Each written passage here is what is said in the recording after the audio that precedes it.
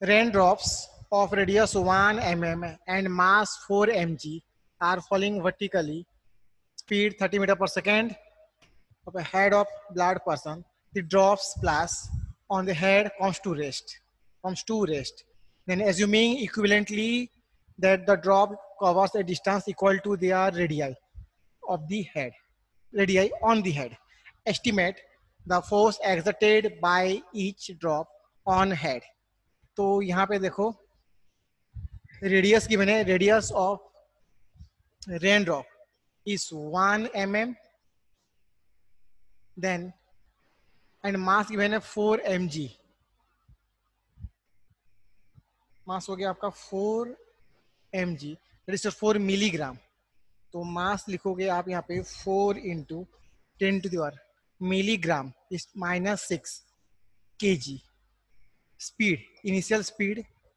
30 metre per second then assuming equivalently the drop cover a distance equal to their radii जो distance cover होगा, वो equal to क्या है? Radius और वो है आपका वन एम mm. तो यहाँ पे मैं लिख सकता हूँ v square is equal to u square is equal to two a s क्योंकि फाइनल वेलोसिटी तो ज़ीरो हो जाएगा। After striking the head of wild person final velocity हो जाएगा आपका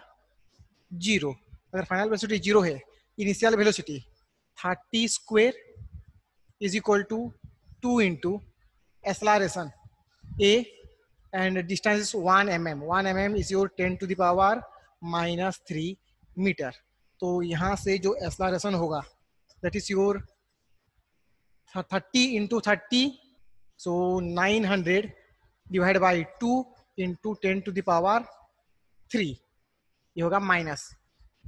so a is equal to ये हो गया आपका 450 450 into ten to power minus sorry into three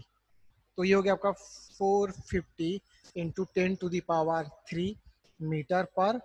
second square तो एक्सलेशन ऑब्वियसली अपोजिट डायरेक्शन है देर सो स्पीड कम हो रहा है तो वो हो गया आपका 450 fifty into ten three metre per second तो force equal to mass into acceleration तो मास है आपका four milligram that is four into ten to the power minus six into acceleration तो मैग्नीट्यूड होगा एक्सलरेशन का four fifty into ten to the power three so four into forty five one eighty you ten to minus six m four 10 to the minus 2 and answer is 1.8 newton